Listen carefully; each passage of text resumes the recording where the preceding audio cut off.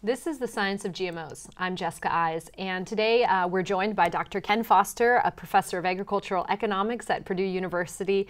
And uh, Ken, just to launch into this, uh, we're, we're looking at GMOs and labeling. And so, if you can help me here, what is the current state of GMO labeling? Yeah, well, uh, up until this summer, 2016, there were no regulations for GMO labeling. There were private voluntary labels, like if somebody was producing a GMO free or a non GMO product, they were labeling that uh, to make sure that they could get the extra value out of the product.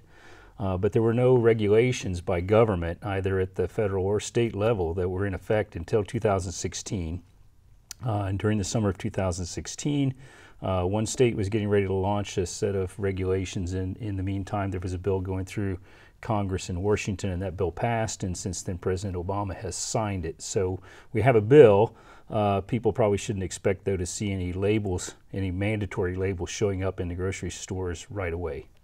Okay, and so when it comes to GMOs and labeling, because GMOs have been around for some time, uh, why weren't there requirements that GMOs be labeled or, G- or foods containing GMO uh, ingredients to be labeled prior to now? They concluded that GMO food ingredients weren't materially different from their conventional varieties. So if you think about corn, let's just use corn as an example. Uh, corn as an ingredient in the list of ingredients was corn, not GMO corn or non-GMO corn, because FDA uh, concluded that those weren't materially different from each other. Mm-hmm. Uh, so these new rules um, that were uh, recently passed, um, what exactly do they require? What do they entail?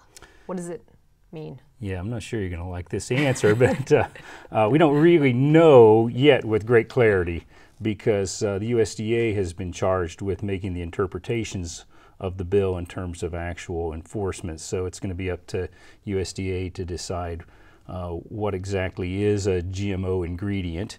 And that sounds pretty simple on the surface, but when you start to, you know, sort of drill down into it, um, then you know you get into uh, some some questions that they're going to have to determine. So uh, let's take uh, soda pop for example. That's that's sweetened with high fructose corn syrup.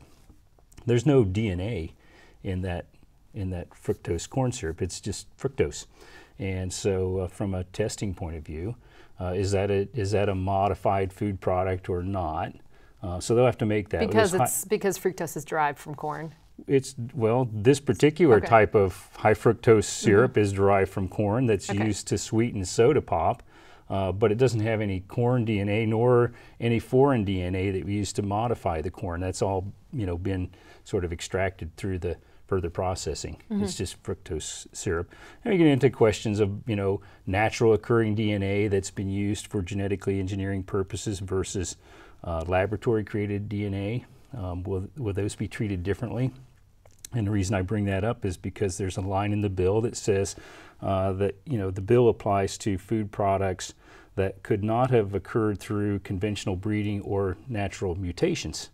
So who decides whether or not you know this particular trait in a food product could have been developed right. through natural breeding or could have mm-hmm. occurred mm-hmm. through some sort or through conventional breeding or could have occurred as a natural mutation. So so those are the things I think USDA is going to have to struggle with. I think it's pretty clear uh, that they're probably going to side toward things that have been modified in some way are going to be labeled, but we don't know that for sure yet. Um, may, maybe more directly to, I think what you were asking is what's going to appear on the label mm-hmm. of the food product when I show up at the grocery store eventually once USDA figures those things out. And um, this is where there's been a little consternation in the news. So most proponents for mandatory labeling, I think, envisioned that there was going to be something very visible on the label that says GMOs in this product, right, or no GMOs in this product. And that's not really the way the bill has been written. So the food processors will be given a fair amount of latitude. They can do that, and I suspect that anything that does not contain GMOs is going to have a very prominent GMO free or non GMO label on it. So, Ken, my last question for you is uh, why did agribusinesses get behind um, having a new federal requirement? Because, from my understanding, for years they had been opposed to this. Yeah, so I think it's probably useful to think about why were they, uh, you know, resistant to a labeling law in the first place, and mostly that has to do with the cost of the labeling and the potential disruptions of a fairly finely tuned supply chain. Um, agriculture always uh, faces a lot of uncertainty with weather and things like that, but then you add another uncertainty in terms of a regulation and what its effects might be, um, and the additional costs. Just I think were something they resisted for a potentially uncertain long-term benefit. Uh, but over the last six or so months, they saw emerging a lot of state initiatives for labeling of GMO products. And uh, as those were emerging, different states were developing different regulations with respect to labeling and the, the idea that you might have to have a separate label for each of those states. Uh, and the additional cost of that, I think, drove them to the idea that one label for the whole country that would satisfy all of these would be the least costly approach.